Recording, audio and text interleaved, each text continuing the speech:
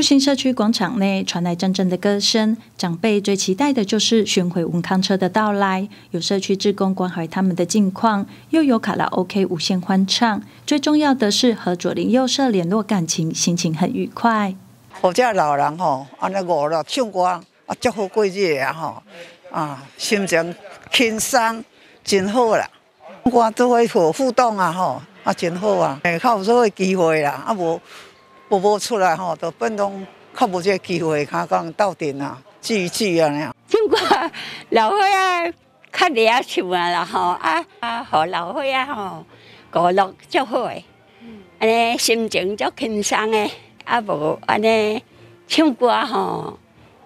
好老岁啊，安尼每日吼心情足轻松足好诶吼。唱歌可以让人抒发情感，心情愉快。许多的长辈退休后窝在家里，导致身心都不健康。透过巡回文康车，希望鼓励长辈走出家门，与他人互动，找寻生活的娱乐。餐中，吼，老岁人，永远当时当时都是伫厝里看看电视尔，哦，啊，看电视时间目睭咧向迄个咧看尔。但是咱即摆有办这文康之车。来哦，咱这老人有法度拿出来活动唱歌，吼，互脑底吼，启发脑子吼，啊，以免这个失智症，吼，啊，阮，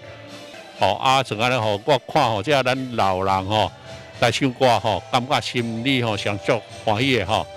先元蔡明轩表示，行动式文康车巡回服务的主动性与可进性，可以在社区照顾服务中扮演着资源连结的角色。感谢县府能够提供这样的文康车服务，希望可以扩大举办，让每位长辈都可以健康快乐又长寿。然后尤其借由唱歌的方式吼，可以让他们诶心情可以更加的快乐，好啊，也让长辈们吼可以在社区之间吼有大家又一起互相交流吼，互相聊天啊，唱歌的一个机会，哦，才不会大家都诶在家里吼，然后都闷在家里。然后感谢我们县府提供这种文康车的一个巡回，哦啊，也希望吼这种活动可以越来越多，哦，让我们诶长辈们都有一个更加一个可以一起互动的一个机会。